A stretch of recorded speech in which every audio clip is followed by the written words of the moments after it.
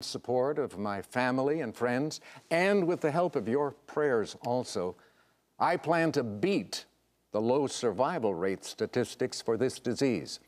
Messages of support today for the legendary host of Jeopardy who announced this week he's been diagnosed with stage 4 pancreatic cancer. Only 3% of people at stage 4 live more than five years, but Alex Trebek says he is determined to fight it now. 11Alive medical correspondent Dr. Sujatha Reddy uh, joining us now to talk about the disease. So uh, you hear a lot about the pancreas, but most people may not know what it is or why this particular form of cancer is so deadly. So the pancreas is an endocrine organ, and what that means is it makes hormones, and it makes hormones that help us digest food and process sugar, namely insulin.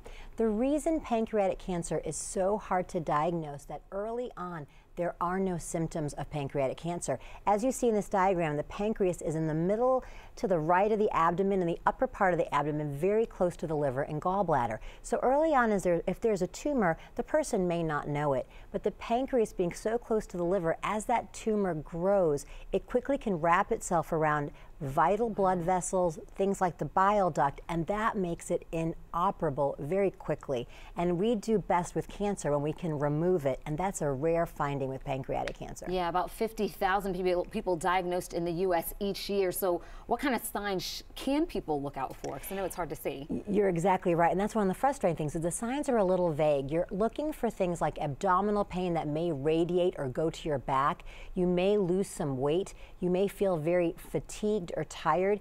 And if it gets to near the liver, it can actually affect your bile production and the skin can actually start to turn yellow mm. or your the whites of your eyes may turn a little bit yellow as you start to get a little bit of jaundice. People may remember that if okay. they have children. So you get jaundice in this disease as well. So those are some signs and symptoms. But very often there are no signs and symptoms. All right, something to kind of keep an eye out for, especially that jaundice there. Now, well wishes have been pouring in for Alex Trebek along with people sharing their own stories, uh, going into the doctor maybe for stomach pains. This person went in in 2015, a Minnesota man, Hans Johnson, and that's when he found out he had stage four pancreatic cancer.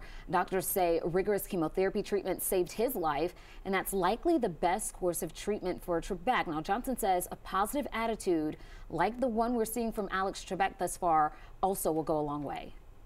Do what you that fulfills you, that keeps you positive, anything that's going to keep you positive and your mind focused on healing and, and whatnot, do it. All right, so what are some changes other people can do to lower their risk? I have to agree with him. I think a positive mental attitude will take you a very long way. But three things that everyone can do to help decrease your risk for all cancer if you're a smoker quit smoking, maintain as healthy of a weight as possible. If you are overweight, lose weight, and eat a healthy diet and try to be active. That would be four. But those are things that we all should do to be healthy, but that can decrease your risk for cancer in general and pancreatic cancer. Always good advice, Dr. Riley. Thank you so much.